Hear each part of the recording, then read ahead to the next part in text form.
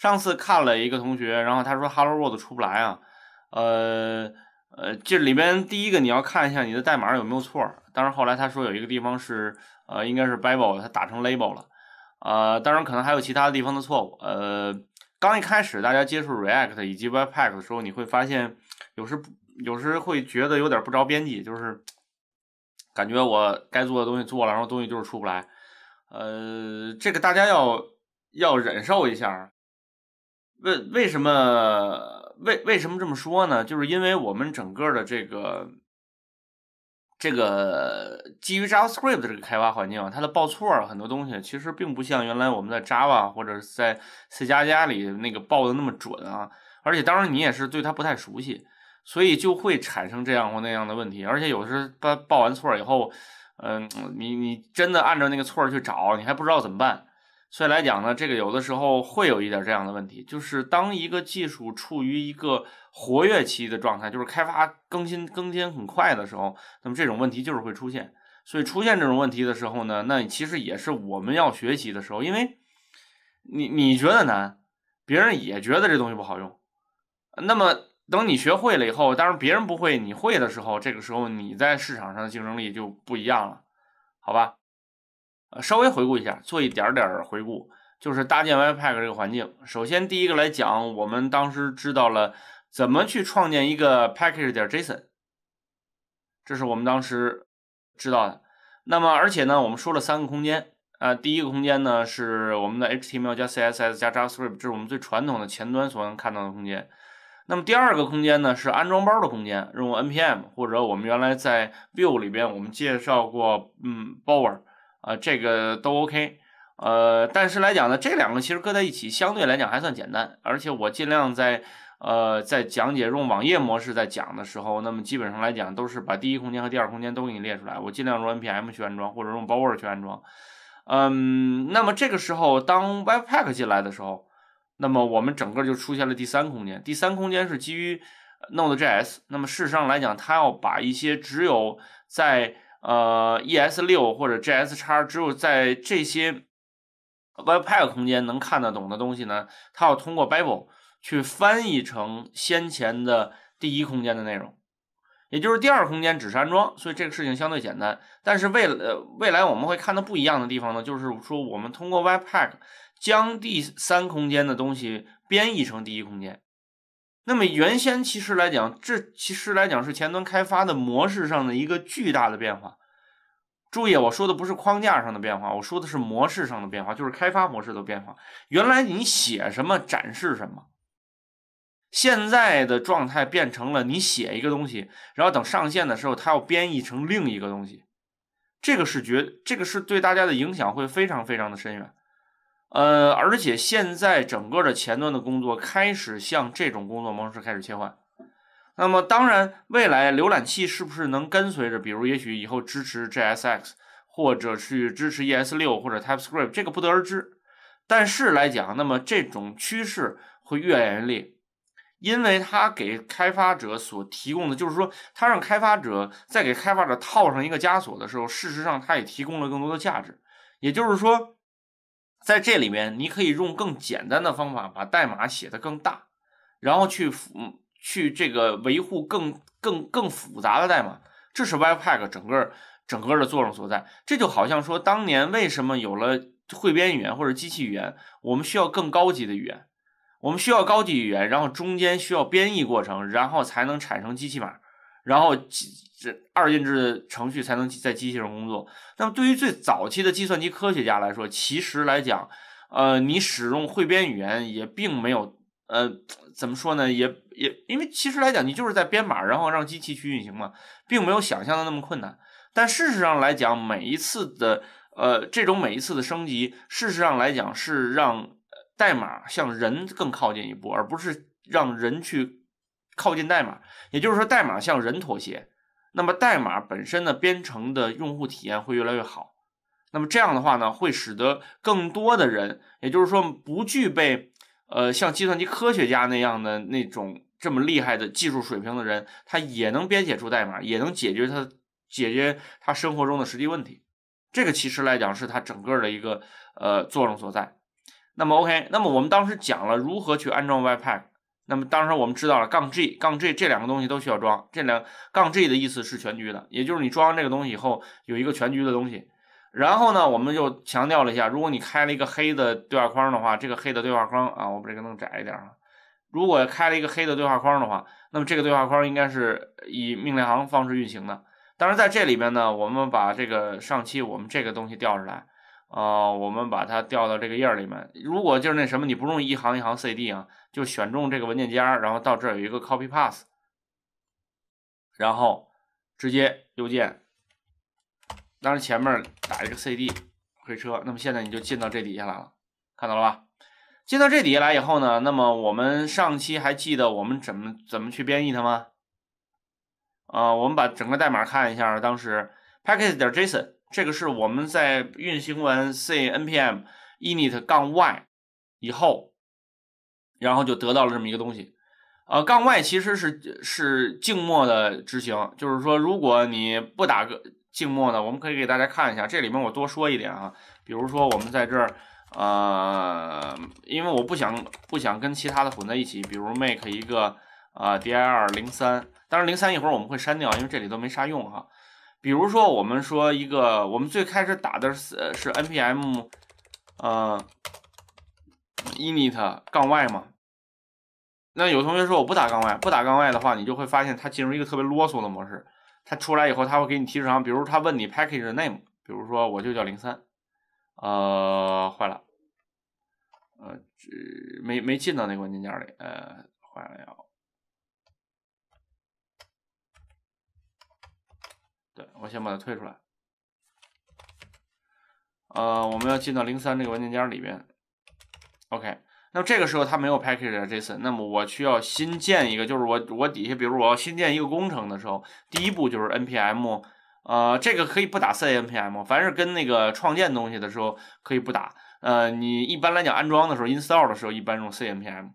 呃，原因呢，大家也知道，这个我就我就不讲了。反正是你用 npm 速度会很慢，甚至有可能会断啊。这个原因你自己去想。然后这个地方呢，如果打 init，我把这个其他的东西说一下。比如说他问你 package name，你在这个地方可以有一次可以改的机会，你可以改，也可以不改。那我就回车不改。version 的话是一点零点零，这个取决于你的版本号是什么。你要创造一个什么版版本号，缺省就是一点零点零。你要不做不改它的话呢，就可以这样过去。Description，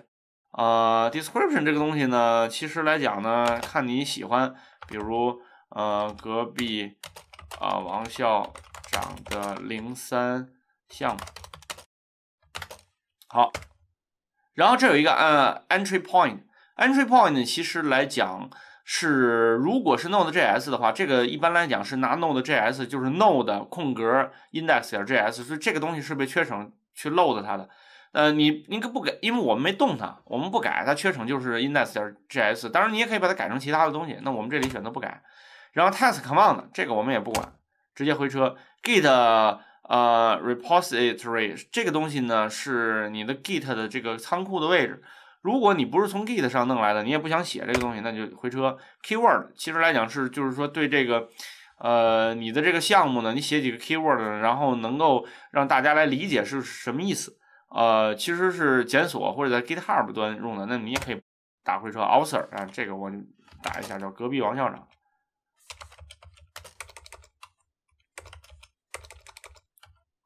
哎，为什么老打个 B 出来呢好，Author license 这个不用管，直接回车。然后，嗯，他会问你，他你看他是一次生成，name 叫零三，然后把所有的东西给你的。他问你这是不是 OK？你可以打 yes 回车。这个时候你再产生的话，这件一个 package 点 json 就出来了。所以这个是我们用于创建 package 点 json 的一个东西。所以大家有可能会觉得奇怪啊，就是说这个地方 package 点 json 是哪个空间的？我这里面再强调一遍。package 点 json 这个文件是第二空间，是安装空间的。它用于指明项目的底层逻辑，说我到底有哪些的这个啊包要安装到上面，以及能能够使用。所以底下当我们说 webpack 的时候，跟它是 webpack 是在它基是在 node 的基础之上 Node 其实来讲，npm 是 Node 在安装包的一个工具，所以说 Webpack 其实来讲要比它高一层，Webpack 已经进入第三空间了，Webpack 是那个编译的空间，理解吧？那么我们在上一次的时候，大家可以看到在这里边，呃，我们开始的时候，呃，这是 index 点 js 嘛，在这里面我们直接写了一段 JSX，这就是 JSX，这个东西其实是 XML 啊，这个不是 HTML，只是它长得跟 HTML 相相近。然后的话呢，那么经过它，也就是说你要想让它能处理它，在这边我们直接是拿了点 bundle 嘛，因为在这里面我们定义了这个地方是 mode 是 development。entry 呢是点 src 点 index，有 js 那个 js 不结尾啊，这个是 node 里边的一个东西。那么它去用于 resolve 这个，就是把这个 build 的这个 path 搞出来，也就是它会知道这个 path 在哪儿。这个 pass 其实来讲是在这儿，这个 build 是 build 过程中产生的，bundle 点 js 也是 build 过程中产生的。你看它有一个 output 嘛，然后在这里面，当时如果对于没有 JSX 的话，那么 JSX 那个是是解释不了的。就是 Babel 不知道该怎么跑这个东西，然后在在这里面呢，我们用了 Babel Loader，Babel Loader 里边的 present 这个有一个 pre 嗯 preset，Babel preset React，Purple 嗯 reset React 这个是用于解释 JSX 的。当然来讲，未来如果你有其他的，比如 ES 六或 ES 七，甚至 TypeScript 相应的有不同的 Loader，那么我们今天只有 JSX，那么就就那么就只。放它进来就好了。那么在这儿的时候啊，我们要从这儿退出来啊。cd 零二。上一次的时候，我们在这运行 Webpack 的时候，你看它基本能够编译成功，它就重新编译成功了。那编译成功以后，那么在这个地方我们是可以啊，Chrome 哪里去了？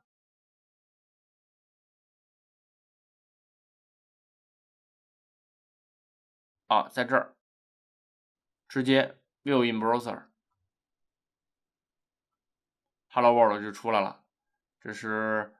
呃，我们上一上一次课做到这个地方，那么我们已经能够产生了呃，其实来讲，第一个 Webpack Hello World 已经出来了，大家能理解。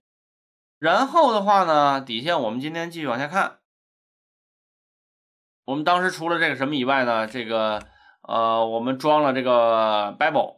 包括 Babel 的 Loader，包括呃 at Babel Core，Babel Core 呢是 Babel Loader 八点零以后，它要求 Babel Core 变成七点零以上的时候用这个名字。如果 Babel Loader 是七点几级以下的话，那么它的这个号的名字叫 Babel 减号号不叫 Babel 一杠号。这个其实呢就说到一点啊，就是说这些做库的这些人吧，就是对于向前兼容这件事情。我不知道他们怎么想的。这个地方，呃，虽然这是开源，但是这个地方我要批评一下。这个，呃，怎么说呢？就是改名字这件事情吧。当然不是说不许改啊，呃，但问题是这个东西到底到底意义在哪里？呃，也就是说，你最好最最好的一个状态是说，别人装了一个最新的版本的一个库。那么能跟很多其他以前版本的库都能很好的融合起来，都能很好的工作。但是你发现现在的这些开源的库基本没有什么耐性。呃，很多人如果你原来用的是 Babel Loader 七点几，然后你升级到八点几以后，马上给报报错给你看。报错给你看的原因就是因为 Babel Core 连名字都改了，原来叫 Babel 一减号 Core，现在叫 Babel 撇 Core。当然它有它的原因啊。但事实上来说，你可以用一个办法，让原先的用户能够平滑的升级过来，也就是这个升级过程你应该自己来完成，而不是让呃所有的用户自己来控制。就这件事情做的非常非常的呃给人的用户体验不好。所以那天有一天在抖音上，我我我其实抱怨了一句，我说大家都在说这个用户体验，就是说真正最终用户的用户体验，但是其实没人在意程序员的感受。就是写库的人非常的，呃，我甚至称之为野蛮啊，就是，呃，从来不考虑用的人会有什么感觉，然后很轻易的连名字这种东西都来回改，这就好像，就是人某，比如这个人名字叫张三啊，明天叫张三丰啊啊，这这这这个还好哈，这个可能你看起来还有一定连续性，有的就连连续性都没有了。那么这样的情况下，其实来讲会给整个开发的人造成很多很多的困扰。呃，我其实是非常想谴责这种这种行为的，就即使你有一百种原因，呃，这种行为也是应该避免的，但是它就发生了，呃，发生了呢，那怎么办？就凑合用，呃，而且 Webpack 本身这个工具和很多其他的工具相比，就只能这么比，你要跟 Java 底下的 Maven 比，差远了，就甩甩它 Maven 甩它三条街，我告诉你，呃，但是你要是在 JS 底下呢，你真的还就没有其他东西好用，其他只有难用和更难用，明白吧？所以底下又回到我们原来那个问题，就是为什么会这么难用？就是因为它是一个很处于很活跃的状态，它不是一个成熟状态，所以很多很多这个甚至写库的一些人也很很随性，然后甚至很任性的去干一些事情。嗯，那对我于我们学习者来说怎么办？呃，你只能忍受，没有办法，因为来讲这个地方越乱，事实上来讲呢，那么市场上能够掌握这个东西的人就越少，那么如果你能掌握以后，竞争力就越强。这个这个我把这个关系已经说清楚了，所以其实对大家来讲，就是说这世界上没有轻轻松松能挣来的钱。这件事情不轻松的时候，它反而容易挣钱；这件事情轻松了，呃，就烂大街了。OK，然后当时我们装的时候还装了这个 Babel Preset 呃 Environment，这个其实 ENV 是 Environment 的这个缩写，就是它环境，实际是这个是用于编译 S 六的。然后还有 Babel Preset React，这个是用于编译 JSX 的。那么当时呢，我们安装了这个东西，安装了它以后呢，同时我们当时还在这里面加了这段呃，这段代码。那么也就是这是一个配置，这个配置里面是 test 呃撇儿，就是说 JSX 它这是一个怎么说呢？这是这是个正则表达式，然后拿这个正则表达式去滤，那么滤出来以后呢，对它使用 Babel Loader，然后对它使用了 Babel Loader 以后呢，那么我们就能看到现在生成的这个页面，它能成功的编译出来。然后我们再去刷它就能出来，OK，这是我们上节课看到的所有的内容。